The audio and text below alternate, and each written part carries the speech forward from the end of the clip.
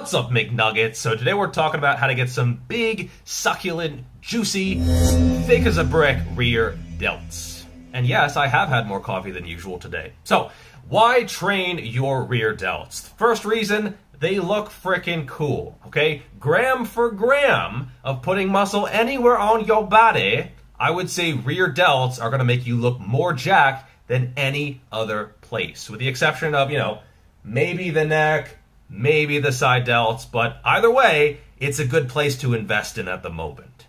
And let's face it, due to physique inflation, you need all the help you can get. And you basically see your rear delts all the time, unless you're facing the person, the camera, whatever. You see them from every pose. You see them from the side, you know, your side chest, your side triceps or whatever. You see them in the back poses. You see them in the you see them even in the most muscular. You can see that, that bad boy popping out from the back, okay? So they're important. Furthermore, they also keep you healthy. If you're doing a whole bunch of bench pressing, yes, I'm talking to you, and a lot of pressing, your front delts are probably going to be pretty well developed. But if you neglect your rear delts, that front to back imbalance might, might put you at risk for injury. So you want to be balanced front to back. Now, firstly, to get this out of the way, presses are overall not a great way to train your rear delts. You could say maybe like an Arnold press as you're going back. Looks like I'm trying to fight the camera. As you're going back, maybe like there's a little bit of rear delt there. But overall, the rear delt is going to pull back, okay, or it's going to pull to the side. But it's not going to be really active when you're doing overhead work, okay? Even if it's behind the neck, that's still going to be mostly front delt with a little bit of side delt, and the rear delt is really not going to be doing a whole lot. Also, deadlifts, yeah, there is a weight hanging from your arms, and there might be a little bit of tension during the movement, but overall, this is not a very efficient way to go about building your rear delts. Now, vertical pulls like pull ups, pull downs with a variety of grips, the rear delts are going to be active because you are using them in conjunction with the lats and the traps and the biceps and the forearms. But I don't think most people are going to maximize their rear delt development just through pull ups or just through pull downs.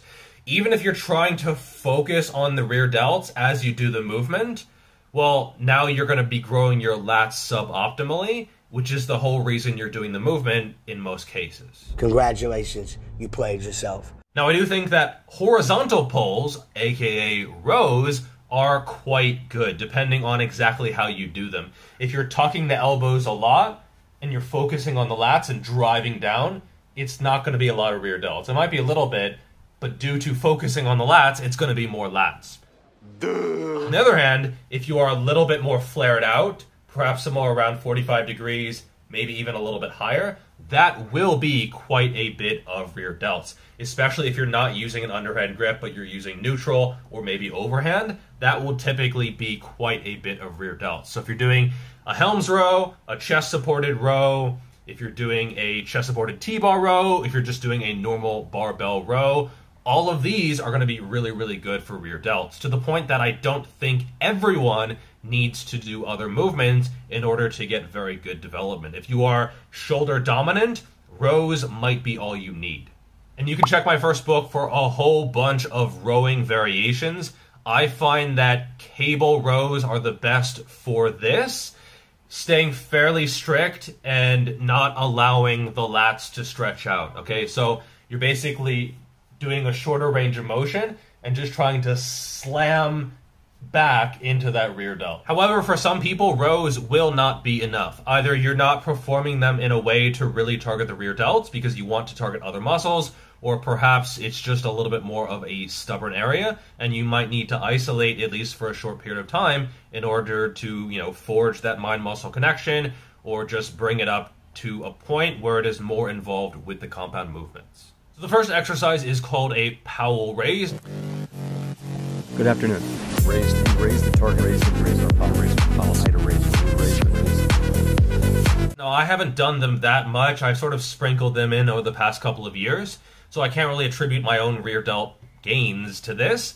But I saw it mentioned enough on my post on Instagram that I think it is worth trying. So basically, you are sideways on a bench, and your arm is coming across you. So you're getting that huge stretch and you're going into that range of motion that most rear delt movements and certainly most rows are not getting. If you think about it, the rear delt has a pretty big range of motion, and if you want to get that full stretch, you have to be going across the body. And so basically you can take these beyond failure, you can you can be just beyond the bench, you can, you can be going sideways until you can't get full range of motion, and then you can keep doing partials in that lengthened position. Similarly, I think cable reverse flies are a good idea as well. The benefit is that you can do both sides at once. The drawback is that it is a little bit harder to get some oomph into the movement. Certainly, you can get the hips involved a little bit, but I think you can't quite isolate the same way because you're doing both arms at the same time. Plus, you don't know if you're doing like one of these, which which arm is on top, hey Macarena, etc. I do think this is a good option, and I do recommend going beyond failure. So usually the hardest part will still be at the end. So basically, get to where you can't do any more full range of motion reps, and then just keep repping out until you can even add in like an isometric at the bottom where you're just like pulling against the resistance, but because you're so fatigued, it's not going anywhere. You can do the same thing with a pec deck. The rear delts are a very, very resilient muscle group. I've literally never even heard of someone tearing their rear delt. I've heard of lat tears, they're pretty rare. I've heard of trap tears, even more rare. A rear delt tear, I'm not going to say it's impossible, but it's just not something that is going to happen the vast, vast majority of the time. So for the pec deck, I like to go, again, with full range of motion to failure to where you can barely get that last little piece of the range of motion and then just keep going. Just keep going. Yeah, oh, it's failure. Oh no. Like, don't be afraid of failure. It's rear delts. It's rear delts, okay? Don't don't be a pussy. So basically just keep going until you can't get any range of motion at all, and you're basically doing these tiny little reps. Someone said, "Oh, those reps aren't doing anything." They are. They still are. For me, what also helped a ton were what John Meadows used to call hang and swingers. So basically, you do a chest supported rear delt raise with very, very, very heavy weight. So, like two or even three times as much weight as you could with full range of motion. And you, you basically just try to get these tiny little baby reps and you just keep going. Often at the top of the range of motion, it turns into more traps. But if you just, you're using such a heavy weight that it's just this part of the range of motion, it's essentially nothing but rear delts, and it's that more lengthened part of the range of motion, and you're overloading the eccentric because, you know you're sort of like bouncing out of the bottom position, getting that stretch, which is nice, but then you're you're trying to control that overloaded eccentric as well. Okay, so this is absolutely money. I don't do them that much anymore because they are that difficult, and even the thought is you can do drop sets here as well. So 60 reps with the initial weight, drop it in half, do 60 more, drop it in half, do like 50, 60, 70, 80, 100 more reps. Again, this is freaking brutal, but it works. A lot of people said face pulls as well. I think it depends on how you do them. If you're doing them Athlean X style like this, and by the way, that's that's fine. There's nothing wrong with it. It's just not the only way to do face pulls. If you're doing them like this, where it's more external rotation focused, uh, that won't be a ton of rear delts. But if you're going a little bit heavier, pulling a little bit lower, and just sort of trying to retract and squeeze the upper back, that is going to be quite a bit of rear delts. You could also do them with rings. Those are actually going to be in my opinion, better than cable face pulls just because stability is less of an issue. You can just focus on pulling as hard as you can. Those are really good. You could do mechanical drop sets. So you start in a position where you are your torso is more horizontal, and then as you fail, you step back, making it easier as you go. So essentially, you are training to failure and then beyond failure as well. You could also do Y raises where your arms are a little bit wider. Those are going to be good very, very challenging as well. For more on ring training, you can check my ring training for hypertrophy book. Lots of great options there. This is a very, very underrated tool to get those gains. A lot of people also mentioned the chest expander or band pull aparts. I haven't spent a lot of time on these, so I can't really comment personally, but I think they are worth a try. and uh, Alex Leonidas is certainly enjoying them, so that might be worth trying out. One of my personal favorites are also called skiers. I did a video on this a while back, but basically, you are skiing with a pair of dumbbells. This gets you a pretty insane contraction. I think a lot of people, when they do work higher up, like a typical rear delt raise, they feel it more in their traps. But with this, it's a really, really good way just to isolate that contracted part of the range of motion. Again, you go beyond failure.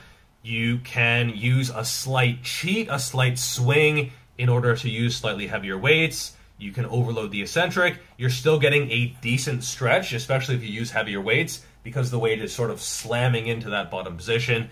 Overall, an excellent option. Now, in terms of volume, intensity, frequency, etc., volume can be pretty high. I mean, of all the muscle groups, this is one of the most resilient, one of the least exposed to damage and mechanical tension, so you can do a lot of sets. In terms of proximity to failure, to be honest, failure is just the beginning. My time has come. You must continue your journey without me. What, what, what, what are you? What? This is not a deadlift. This is not a squat. This is not, you know, a barbell bench press. This is not a muscle group or, or, or movements that you need to really be cautious. And so make failure your starting point. When you can't get that full contraction, okay, wow, now you failed this tiny little part of the range of motion. Keep going. And then keep going. And then keep going until you're just a sniveling pile of human meat flesh and you're getting these tiny little partial baby reps and gun to your head, you couldn't get any more. That's the key. It's not just to fail, it's that you're trying to get that full range of motion and you're failing miserably. That has been a big game changer where I stopped treating it like other muscle groups. This is not your spinal erectors, these are not your hamstrings. They are a small muscle group that you just need to beat the shit out of. Just do a lot of volume, partials, drop sets, beyond failure, have, you know, sets that last a minute, 2 minutes, 3 minutes. I've had sets of rear delts that lasted 4 or 5 minutes. And in a lot of cases, that is what takes that is what takes Oh my god. And in a lot of cases, that is what it takes to finally get them to grow.